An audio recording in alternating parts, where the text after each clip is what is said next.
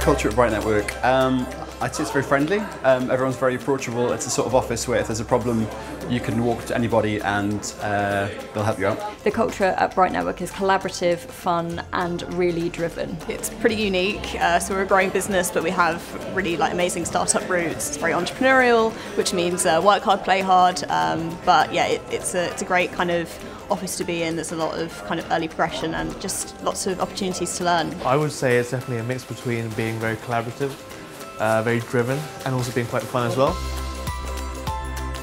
My favourite thing, Friday night drinks. Can I say that? I think it has to be the, the membership. When you go to events or even when they come up to the office for to collect their champagne after securing a role, uh, they're always super excited, super keen and really driven individuals. It's really nice to work with people like that. My favourite thing about Bright Network, it might be the brand actually. Um, I love orange and um, I just think that the branding is, is really clever, really minimal and really appealing. My favourite thing is definitely the people that I work with, um, really talented and ambitious uh, team here at Bright Network. They're great to work with.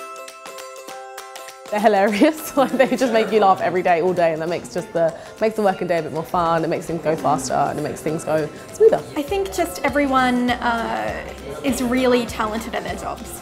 So um, we've kind of got the best of the best. So therefore, the work gets done and it gets done at a really good standard. I've only been here for about six weeks, but the team has been really inclusive, really welcoming, really supportive. Any questions I've had, um, and really welcoming to kind of giving me more experience across the business, which I really appreciated everybody's really passionate about what they do. I think everybody comes from a place where they understand why what we do is needed so they can put in the effort to actually make a difference. I would say the level of inclusivity and the level of flexibility that we kind of maintain even though we're growing really fast. I think probably the autonomy that everyone gets here in their role. Uh, they have real freedom to sort of do their role in a way that suits them uh, and they're backed by the business to do so successfully. I think it's the personal approach, the fact that kind of we try and treat all of our members as individuals. If you ring the office and you have a problem, we'll try and sort it out.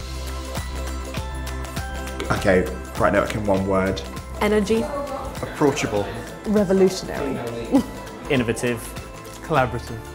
Driven. Energetic. Eclectic. Committed. Obviously we've got a job to do, but um, if we can sort of keep each other chuckling while we're doing it, then Marvellous. that was not a killer ending, was it?